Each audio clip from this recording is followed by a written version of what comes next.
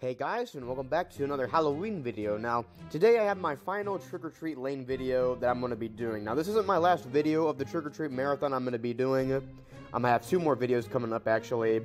But this is my final of the trick-or-treat lane series specifically. So, today I have a review of the Black Cat Flat by Department 56. So, the theme of this building, again, as you can probably tell, is theme the theming of it is black cats, and just as a heads up, I love this building. I think that it's one of the best additions of or Treat Lane that they've ever done. It's definitely one of my absolute favorites of it. It's just, it's such a nice looking house, and, um, yeah, it's just, it's amazing. It's great details on it.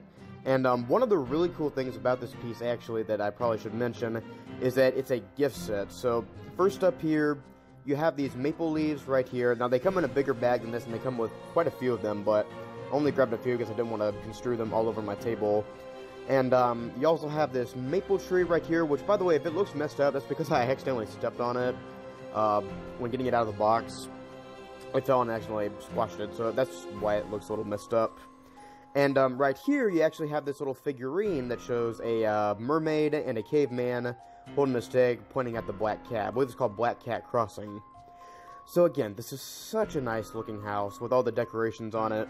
I love the big Happy Halloween sign on the top of the roof. It's very nice with the big black cat face on it. As you can see, there's scattered maple leaves all over the, uh, the top of the house as well as the yard part of it. You have these black cat decorations in the yard. You know, one that's on top of a pumpkin. You even have one that's by the porch. And uh, you also have, uh, on the right side of the building, another black cat, like, poster. Not poster, but, like, you know, lawn stake that you might find at, I don't know, Home Depot or Lowe's or something along those lines. So, again, it looks great. And what looks even greater is the lighting on this piece. Now, this building has amazing lighting on it. As you can see, there is uh, orange lights scattered throughout the lining of it, the lining of the roof. But on top of that, there's also a green light inside of the building, and the uh, big sign on top, the black cat eyes, they light up green as well again, it just it looks fantastic lit up, and just looks fantastic in general. I can't say enough praises about this piece. I think that it's it just it screams Halloween. That's what I think. Again, the big Happy Halloween sign on top really gives that vibe, and um, it's just it's very nostalgic. I love the orange lighting on it. It's just this is one of my special pieces. This is like one of my again. This is one of my favorites of Trick or Treat Lane. You are going to be seeing this on my Hall of Fame as well. So yeah, guys, that pretty much sums up how I feel about the Black Cat Flat. We ended off with a bang as far as like Trick or Treat Lane goes.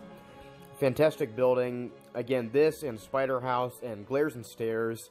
These are my my three Mona Lisa pieces as far as like Trick or Treat Lane goes. I think that those are the three best ones. I absolutely love all of them. So, yeah, guys, that pretty much concludes it. But before I go here, I actually wanted to show you something that I've been working on for the past few weeks. I've actually been coming up with concepts for some upcoming trick-or-treat houses that Department 56 could do, which that would be awesome if Department 56 watches this and takes inspiration from some of them. So, uh, first up here, this is the Witch House. Now, this building will be lit with green lights, as you can probably tell, and um, it'll actually be animated, as you can see, with the two witches on top. I think that would be a great idea. Next up here is the Ghost House. Now, as far as the lighting on this piece goes, the big ghost in the tree will light up, as well as the ones behind the tombstones. Um, I love the idea of Ghost House as well. This one is the Monster House. Now, of course, the theming on this one are all the famous monsters, and their eyes will light up, as well as the big moon in the back. And my uh, my most complete one, as far as like the coloring goes, is the Candy House, which as you can see right here. Alright guys, thank you so much for watching, and I'll see y'all next time.